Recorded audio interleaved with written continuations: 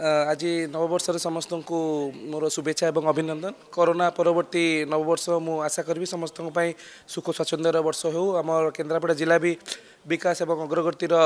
नुवा नुवा सूर्योदय देखु ए कोरोना जो सब जिनिस आमे गरिपे लोक भी जो असुविधा है स्वास्थ्यगत कारण हौ अन्य कारण हौ एबर्ष महाप्रभु कम आशाकर समस्तै सुखप्रद हौ यति म